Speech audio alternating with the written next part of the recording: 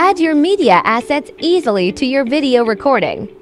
Click on the Settings button and then click on My Uploads. Click on Upload to add a video, image, or audio file from your device. After processing, you will find your uploaded media in My Uploads. Once your media is uploaded, you can use the BIGVU Sequencer to add any image as a layover.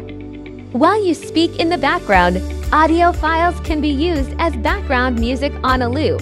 Make sure that you are not using copyrighted assets. Make your video personal and upload your image to your video today.